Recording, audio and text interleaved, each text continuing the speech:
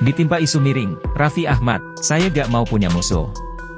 Raffi Ahmad memilih untuk berlapang dada alias legowo dalam menanggapi isu miring yang sering menimpanya.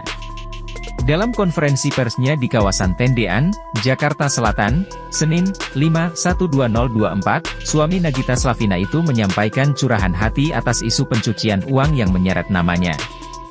Saya tuh biasa diberitain hoax, cewek-cewek, gitu, kalau urusan itu ke personal aja saya nggak pernah ngundang media, tapi ini soal kredibilitas, ada pencucian uang, judi online, dan lain-lain, ujar Raffi Ahmad. Raffi mengaku klarifikasi ini dilakukan demi menjaga kepercayaan rekan bisnisnya yang sempat khawatir.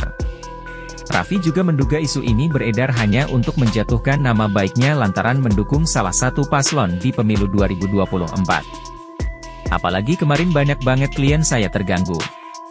Kalau uang yang saya dapatkan karena kerja dari umur 13 tahun. Jadi kurang lebih saya sudah kerja 26 tahun, jelas Raffi Ahmad. Ini juga kan tahun pemilu, aku masuk di garda terdepan salah satu paslon, waktu itu diingatkan, benar Elo mau ikutan, nanti gini gini gini, saya bilang gak apa-apa, karena saya perdana jadi ya udah jalanin aja, sambungnya. Raffi juga mengaku kalau pihaknya tak menuntut permintaan maaf kepada oknum yang menyebarkan isu tersebut. Gak ah, kita emang gak gila maaf, saya cuma mau klarifikasi aja, karena klien-klien saya merasa terganggu.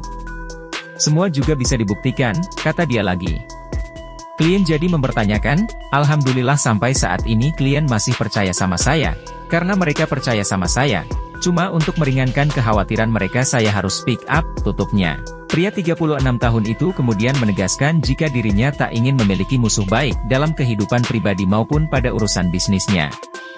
Sekali lagi, saya tidak mau mencari musuh, mau hidup tenang-tenang aja. Yang diberitakan di luar sana tidak benar dan saya kerja benar, pakai uang halal. Dari umur 13 tahun sampai sekarang jadi artis, influencer dan saya sekarang juga punya perusahaan yang sudah enam tahun berjalan dan pembukuannya rapi, aliran dananya bisa dipertanggungjawabkan, tandasnya.